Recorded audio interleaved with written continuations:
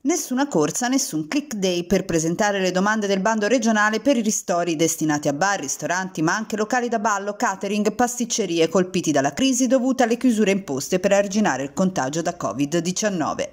I 20 milioni di euro, 2.500 a testa perché ha avuto un calo almeno del 40% del fatturato, saranno erogati attraverso una graduatoria dove le domande saranno classificate secondo il criterio di diminuzione delle entrate. Era giusto che questi 2.500 euro a chi ha avuto un documentato calo di fatturato, decideremo insieme in giunta se sarà un calo del 40 o del 50%, eh, possa accedere a un bando che i primi giorni dell'anno diventerà materialmente conoscibile e tutti ci potranno eh, con la loro documentazione accedere. Le risorse a disposizione consentiranno così di distribuire gli aiuti a circa 7.800 imprese toscane. Quindi lo prenderanno sicuramente coloro che hanno avuto il maggior danno in questa fase e si aggiunge sostanzialmente al provvedimento del governo che ha annunciato ulteriori ristori proprio a significare che quel di più che noi possiamo concedere a questo settore che nella dinamica dei colori ha avuto la maggiore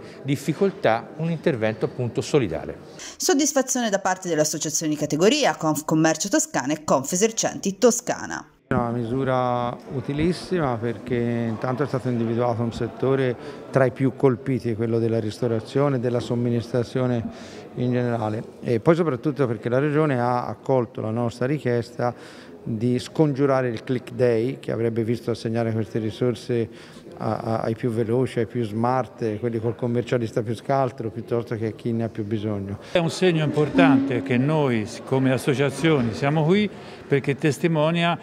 dire, la, la, necessità in questo momento particolare e difficile ancora di più di fare sintesi nelle, tra le associazioni e gli enti locali ed è l'ora non tanto di cercare il, il, pugno in aria o il titolo sui giornali ma stare insieme, collaborare tra associazioni, spingere sugli enti locali perché dobbiamo riuscire a